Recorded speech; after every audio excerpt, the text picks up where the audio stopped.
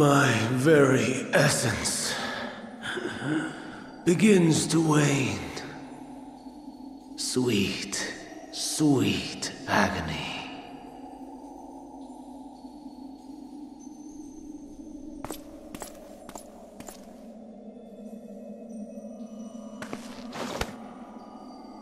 Leave this to him.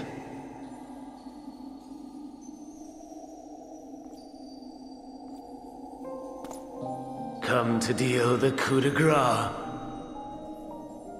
Good. Watching you struggle against the inevitable is bad comedy. Erase me from existence, soul and all.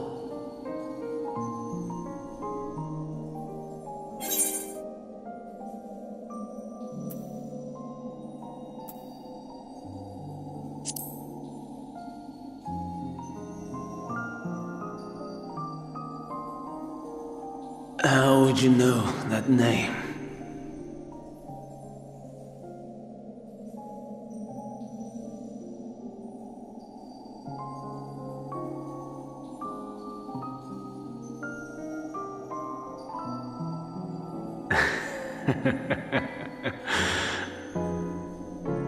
then it was you. In Elpis. With Emet-Selch. Final pieces fall into place.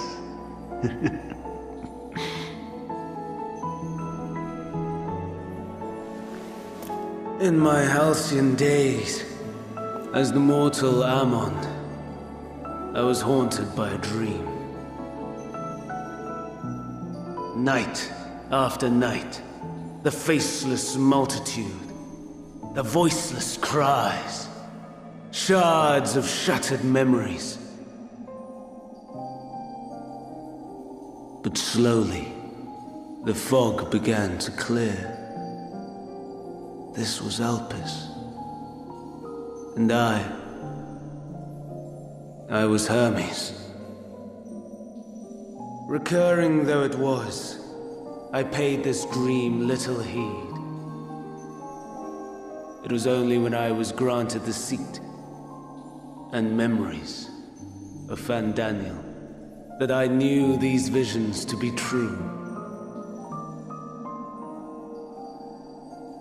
They were the memories of Hermes that he himself erased using the power of Kairos.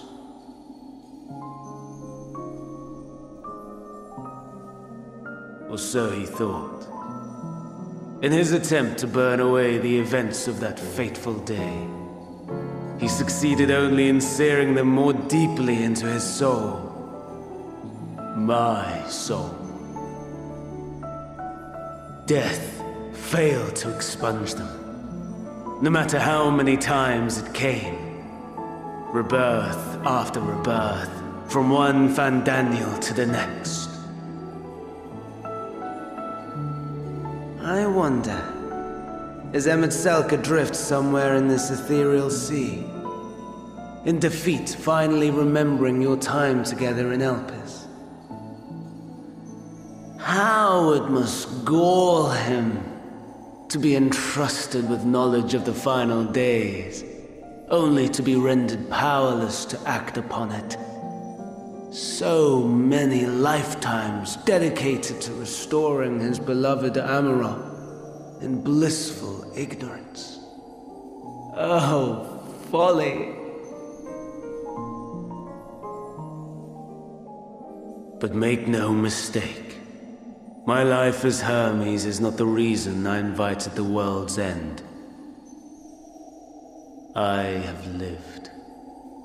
I have struggled. I have dredged the very depths of despair. And in the detritus of existence, I found the truth. I served a great ruler, powerful beyond measure. The world his dominion. Yet even he and his vast empire were destined to fall, to become one with oblivion. At the end of life's journey, lies only death.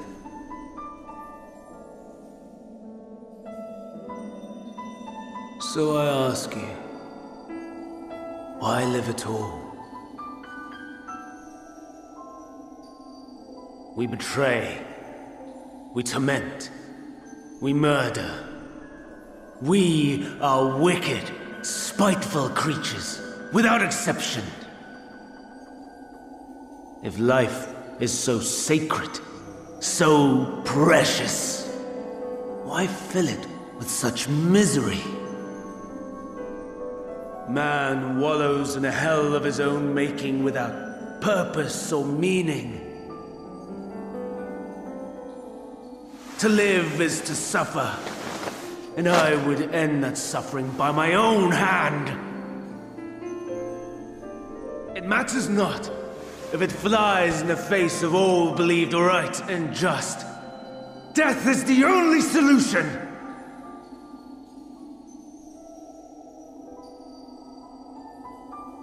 That is my truth.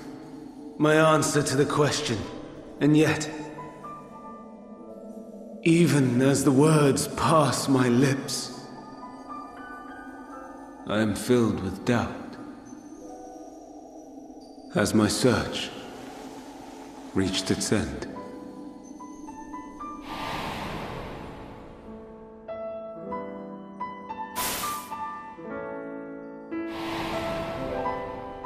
Was this the only way?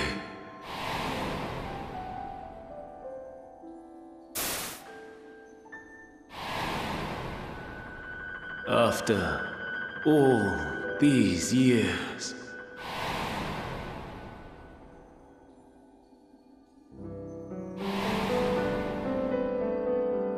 Is this the answer I was hoping for?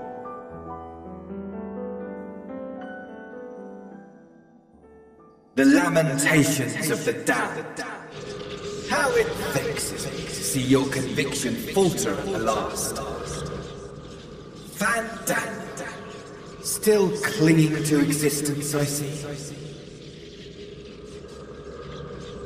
You, you, who champion death so fervently, unwilling to accept your own, refusing to be purified and swept into the sea of souls. As do I. We prisoners to men, watching as the world turns.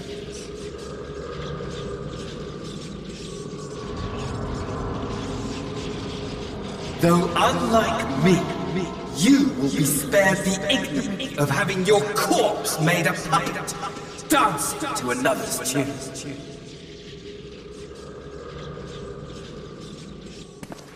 Is that Asahi? How very astute. But let me be clear, I have not come to consort with the likes of you. Nor have I come to bemoan the state of the world following my untimely demise. In fact, I delight in mankind's downfall and the anguish it brings the savior of the savages. If I played some small part in the chaos, all the better. Not that I was in any position to resist. But to be made accomplice to the betrayal of Lord Zenos. I would die a thousand deaths to exact my vengeance.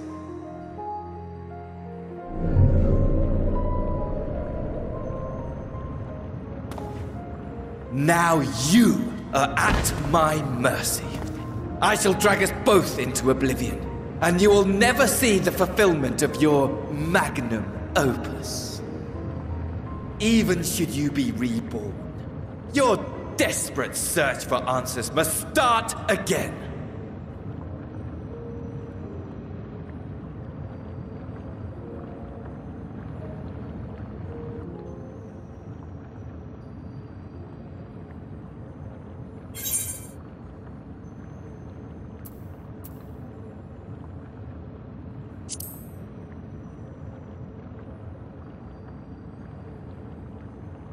Even here, even now. You have every right to hate me. For the fool I was. For the monster I became. But I will not beg forgiveness. The tale of Hermes, the man who knew so much, yet understood so little, ends here.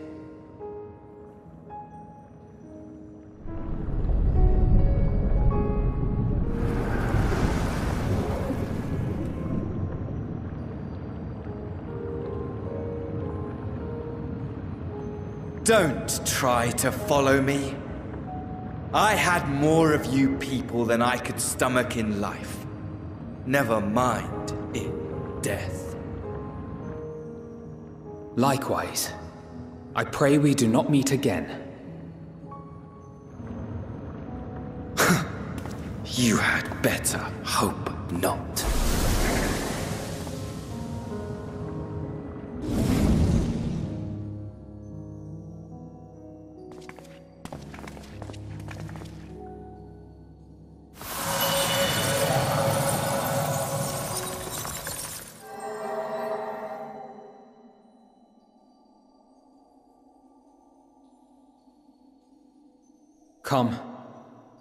Hydaelyn is waiting.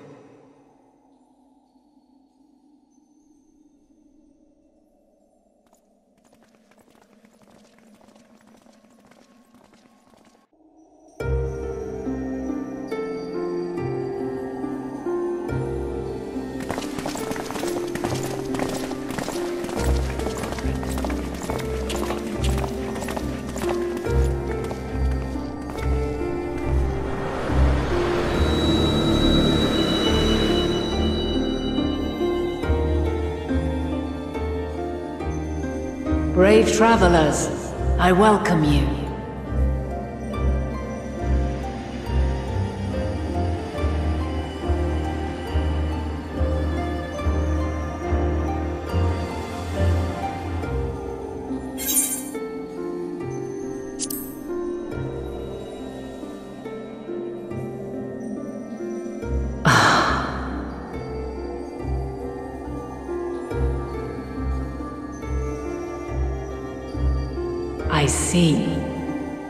Didst journey under Elpis. And now, the rivers of time converge.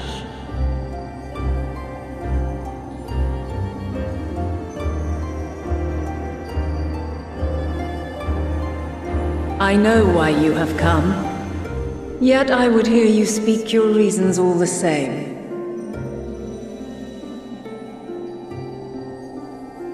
You created the moon to deliver mankind from the final days. But is that really how it has to end? We do not wish to abandon this world. We want to protect the source and all of its shards. To flee is but one of two paths. The other leadeth to Meteion, far beyond the stars, where she doth chant creation's requiem.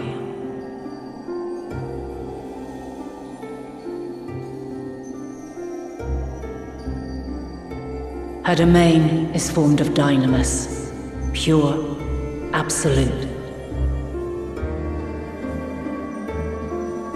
Where emotion and memory govern all, ether will avail you naught. Meteion hath gathered the pain and despair of countless stars, and to go unprepared is to go unto your doom. We'll beat her. We'll win. I swear it.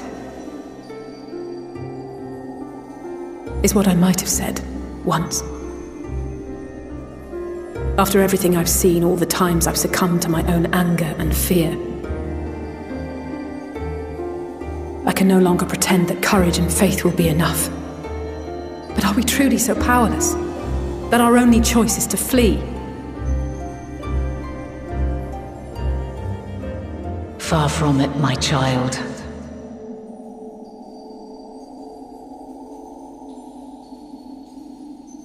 Long ago, the inhabitants of myriad stars, many more prosperous than Etheirys, sought to free their worlds from life's woes. Sorrow and anger, conflict and hostility, despair, and even death itself. But as Meteion reported, every attempt ended in failure. Darkness abideth within every living being and can never be cast out. Neither reason nor faith can challenge this immutable truth.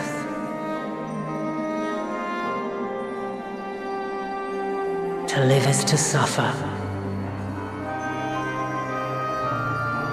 And in suffering, find strength and purpose and hope.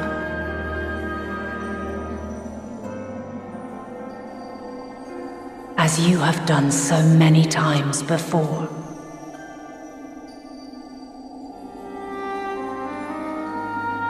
Thou dost pursue an impossible dream, yet knowing this, you pursue it nevertheless. And thou hast learned to depend on others as they do thee.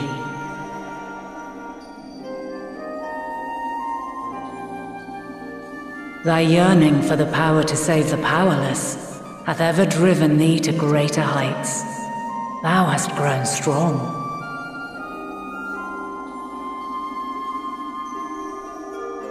Though those closest to thee no longer walketh by thy side, their love remaineth thy guiding light. For duty's sake, thou hast been bound by truths unutterable time and time again. Yet thy heart hath never wavered, as thy companions will attest. In thy pursuit of mysteries great, all thou believest is brought into question. Undaunted, thy thirst for knowledge remaineth unquenched.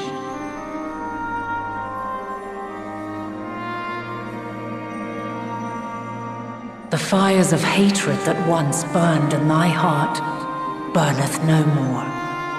From their ashes doth spring the light of love, warm and pure.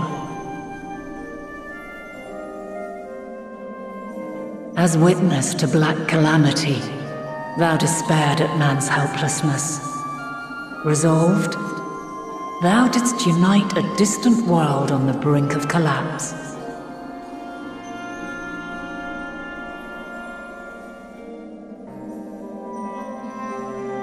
And thou, my champion, when all did seem lost, thou never abandoned hope. For every trial and every foe that did bar thy way, thou hast proven equal to the challenge, drawing courage from the many bonds forged on thy journey. You have all known despair, and though the end approacheth, you walk on, heads held high. Therein lieth your power, the strength to silence the song of oblivion.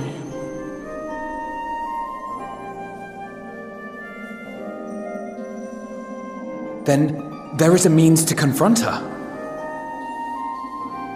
Yes, if you should prove yourselves worthy.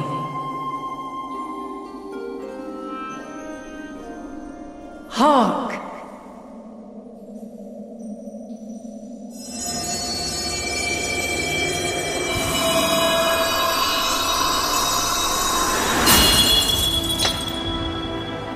Nigh impossible is it to send mortals to the edge of the universe. Should you fail, there will be no second chance. As the will of the star, I ask of you this. Do you possess the fortitude to stand firm when all around you doth crumble? Do you possess the faith to vanquish despair itself. Should you lack the strength to best a supreme deity, I cannot allow you to make the journey. You must leave this star and never return.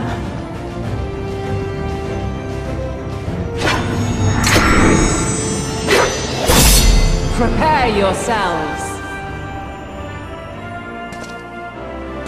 Prove ourselves worthy, eh? Sounds straightforward enough. Aye. No room for confusion there. In any case, we've come too far to back down now. I am of the same mind. What power I have, I shall bring to bear. The three of you seem to be forgetting who we're up against. It's not every day we battle a divine being of untold power. Well, not quite every day. Do try not to get underfoot. Needless to say, there'll be no margin for error. Let us hold nothing back. For the people of this world and those beyond the rift!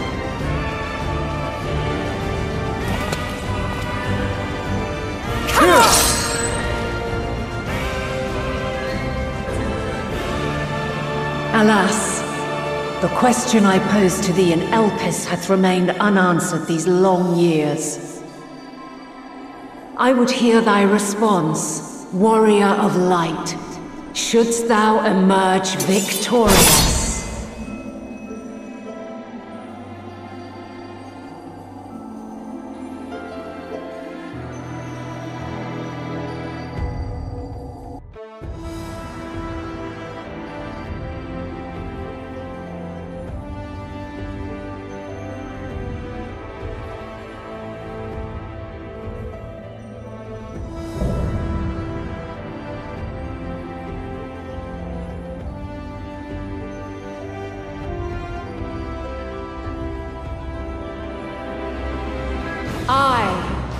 The last of my kind, shall test thee. Come, prove thy worth!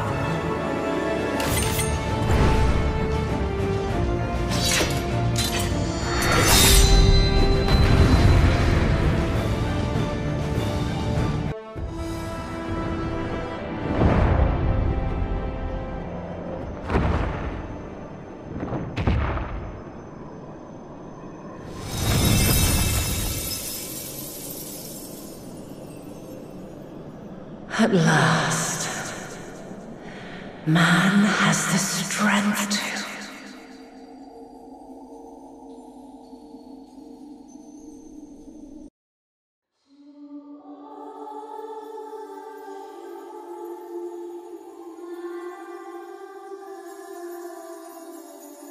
No! This can't be happening!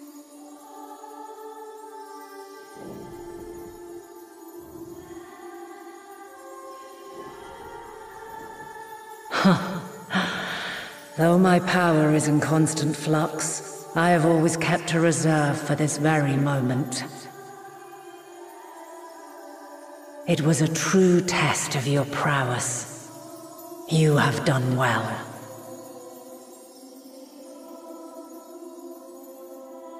There is one thing I must ask.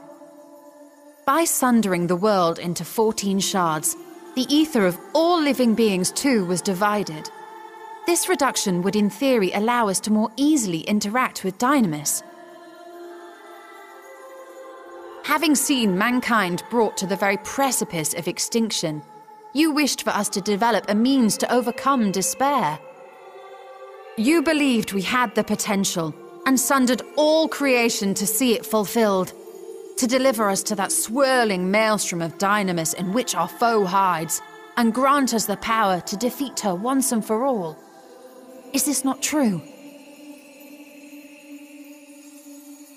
It is as thou sayest. 'Twas the trial to which I subjected mankind, and it hath led to untold bloodshed and suffering. There was no kindness, nor justice in the tragedy I wrought. When confronted with the almighty Zodiark, my only recourse was rend him and the world asunder, that his power be diminished for a time.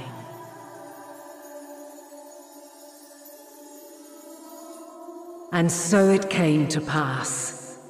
Now you, my chosen, have surpassed my expectations, surpassed me. I entrust the fate of the universe unto you.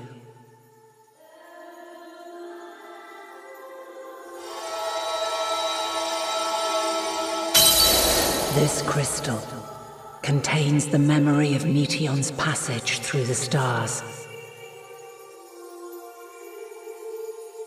Deliver it unto the Loporrits. They will guide you to her.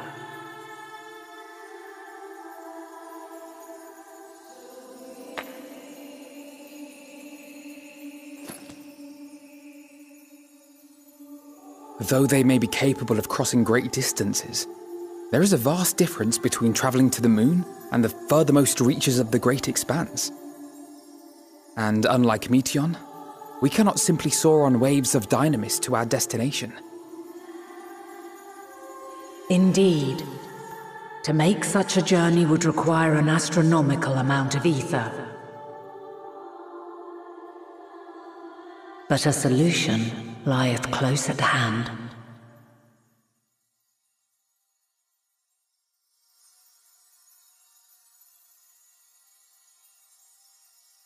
Of course. Yes, my child.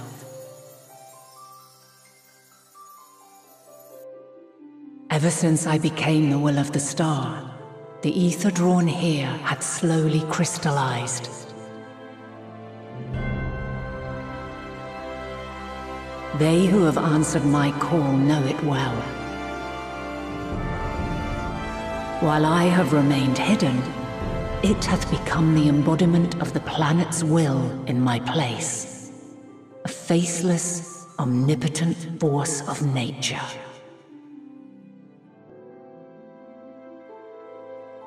The Mother Crystal. Our final hope.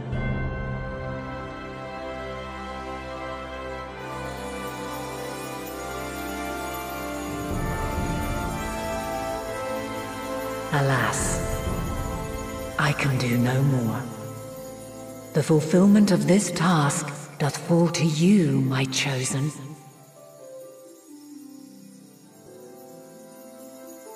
Now, heed these words. Darkness and light, despair and hope, as goeth one, so goeth the other. Become light, become hope.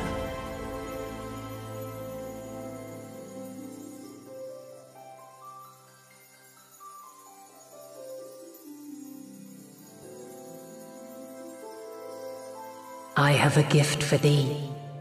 Come closer.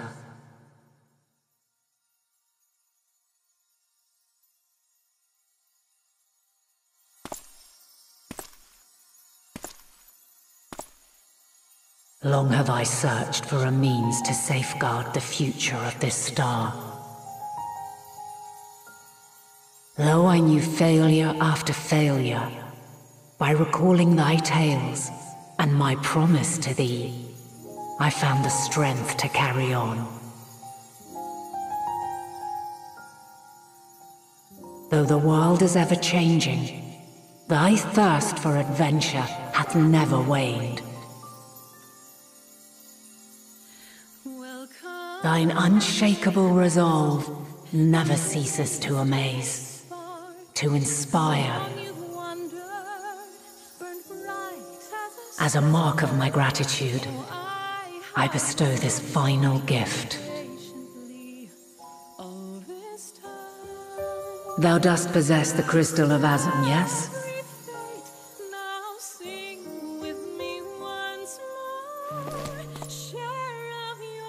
As Hydaelyn, I reside over the forces of stasis, tranquility, peace. The laws which impart stability to existence itself.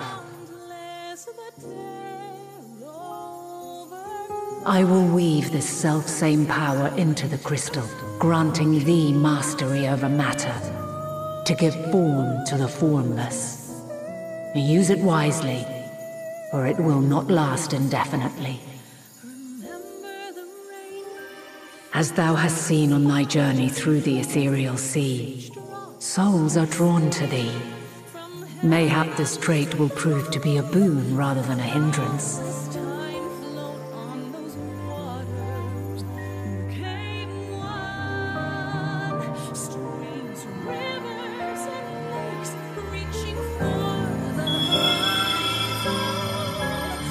It is thy hopes and prayers that enable Azem's invocations and give them life. So keep them close. But pray, remember this. When the way forward is hidden, even from the mind's eye, look not to the invocation, but within yourself. These were the words of the crystal's original bearer.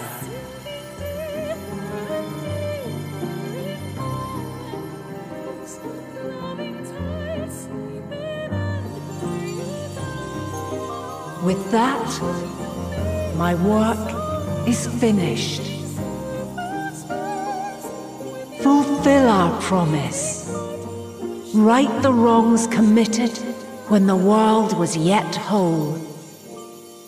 Silence the song of oblivion. Teach her a brighter melody. Show her our journey is far from over.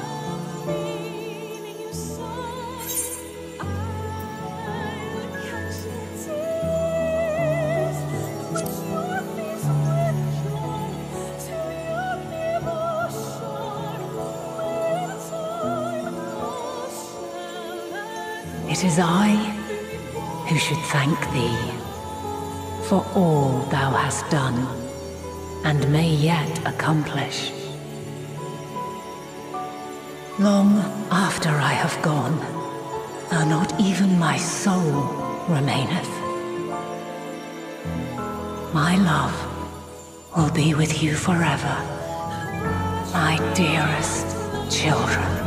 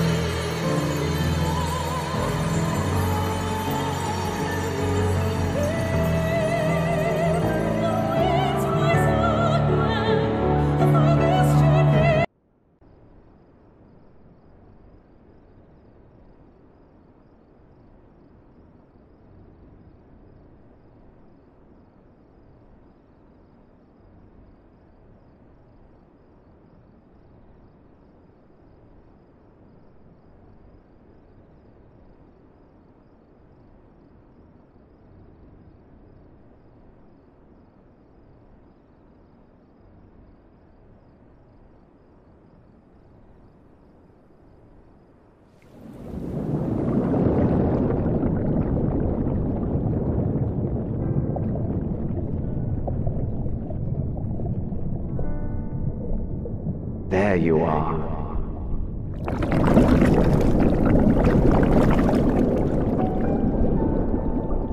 Some time, indeed, yes. For you, at least.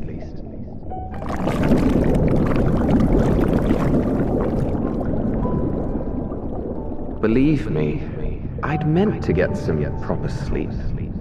But here we are, drifting along instead. Well, well, you too. And so we remain to watch and wonder.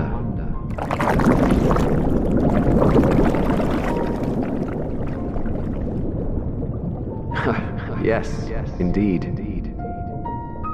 To begin, we first must see the end.